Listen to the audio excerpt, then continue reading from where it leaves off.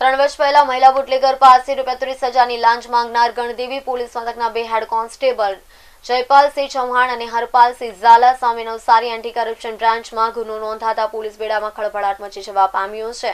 ત્રણ વર્ષ પહેલા સન બે હજાર ઓગણીસના વર્ષમાં ગણદેવી પોલીસ મથકમાં ફરજ બજાવતા હેડ કોન્સ્ટેબલ જયપાલસિંહ ચૌહાણ અને હરપાલસિંહ ઝાલાએ દારૂના કેસમાં રૂપિયા ત્રીસ હજારની માંગણી કરી હતી, જે અંગેની ફરિયાદને આધારે નવસારી એન્ટી કરપ્શન બ્રાન્ચે છટકું ગોઠવ્યું હતું. પરંતુ એસીબીનું આ છટકું નિષ્ફળ જતા એસીબી દ્વારા નોંધ કરી તપાસ હાથ ધરવામાં આવી હતી. આ તપાસમાં એન્ટી કરપ્શન બ્રાન્ચ દ્વારા લેવામાં આવેલ નિવેદનો અને અન્ય પુરાવામાં હેડ કોન્સ્ટેબલ જયપાલસિંહ અને હરપાલસિંહે લાંચની માંગણી કરી હોવાનું સાબિત થતા બંને પોલીસ કર્મીઓ વિરુદ્ધ એસીબીમાં ગુનો દાખલ થયો છે.